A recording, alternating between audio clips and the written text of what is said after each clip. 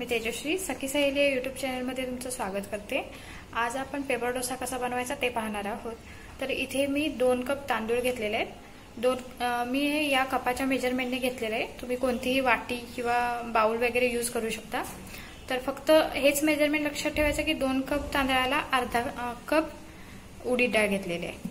म्हणजे तुम्ही जे दोन कप बाउल घ्याल तर अर्धा बाउल तुम्हाला उडीद डाळ घ्यायची आहे. या पद्धतीनं आणि पाव कप पोहे घेतलेले आहेत. त्याच पद्धतीने तुम्हाला पाव बाऊल पोहे घ्यायचे तर इथे मी दोन चमचा हरभऱ्याची डाळ घेतलेली आहे. ही ऑप्शनल आहे. आणि इथे मी अर्धा चमचा मेथी दाणे घेतलेले आहेत.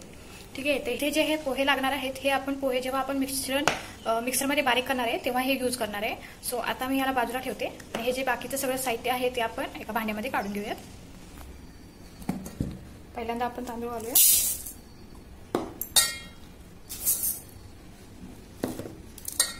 उडीटा. आणि दोन चमचे चणा डाळ. आता आपण याला स्वच्छ धुवून घेणार आहोत. एक चार ते पाच वेळा. पाव चमचा मेथी दाणे. आता हे आपण सगळं स्वच्छ धुवून घेणार आहोत. आता हे आपण दोन ते तीन वेळा स्वच्छ धुवून घेतलेलं आहे. तर याच्यामध्ये मी आता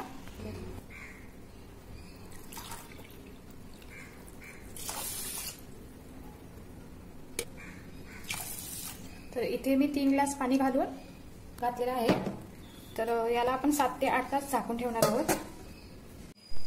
सात ते आठ तास झालेले आहेत. तर ह्याच्यामध्ये मी वरती जे पाणी होतं ते काढून घेतलेलं आहे. आणि ह्यातलं अर्ध मिश्रण मी मिक्सरच्या जारमध्ये घेतलेलं आहे. इथे मी पोहे एक पाच मिनिटं भिजवून घेतलेले आहेत. आता हे देखील आपण याच्यामध्ये ओतणार आहोत.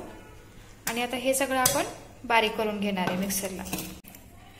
इथे आपलं बारीक करून झालेलं आहे. तुम्ही बघू शकता. मी इथे जास्त बारीक पेस्ट केलेलं नाही आहे थोडंसं अगदी थोडंसं जाडसर ठेवलेलं आहे. बघू शकता. तर याला आपण आता सात ते आठ तास पुन्हा झाकून ठेवणार आहोत. तर आपले आठ ते दहा तास झालेले आहेत. तुम्ही बघू शकता पीठ किती सुंदर फुललेलं आहे. तर आपण याला आता मिक्स करून घेऊ. एक चमचा मीठ ऍड करते. रात्री आपण भिजवताना मीठ घातलं नव्हतं तर आपण आता घालतोय. आणि एक अर्धी वाटी पाणी घालते. थोडंसं मिश्रण जाळसर आहे. आता आपण याला छानपैकी मिक्स करून घेऊया. आता आपलं मिश्रण परफेक्ट आहे तयार. तुम्ही बघू शकता याची कन्सिस्टन्सी इथे मी एका बाउलमध्ये एक वाटीभर पाणी घेतले आणि त्याच्यामध्ये दोन चमचे तेल टाकलेलं आहे. तर आपण आता टिश्यू पेपरच्या सहाय्याने तव्यावर मिक्स केलेलं. आता आपण याच्यावरती आपलं मिश्रण सोडून घेऊया तवा मी जास्त गरम केलेला नाहीये.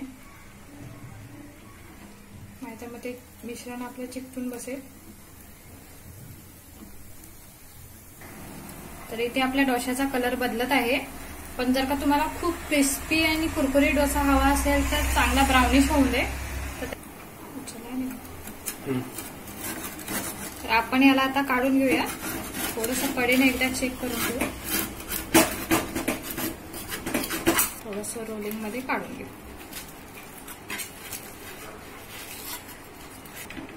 डिशमध्ये काढून घेऊया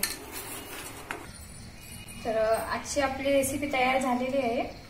ही रेसिपी हा डोसा तुम्ही बटाट्याच्या भाजीसोबत किंवा खोबऱ्याच्या चटणीसोबत किंवा सॉस सोबत देखील सर्व करू शकता.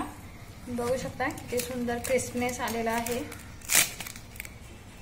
तर ही रेसिपी तुम्ही नक्की ट्राय करा आणि मला कमेंटमध्ये सांगा कशी झाली. तसेच माझ्या व्हिडिओला लाईक शेअर करा आणि सबस्क्राईब करा. तसेच माझ्या काही व्हिडिओची खाली मी डिस्क्रिप्शन बॉक्समध्ये लिंक्स देते. त्या देखील तुम्ही व्हिडिओज बघा. तर तसेच ज्यांनी सबस्क्राईब केले त्यांना धन्यवाद.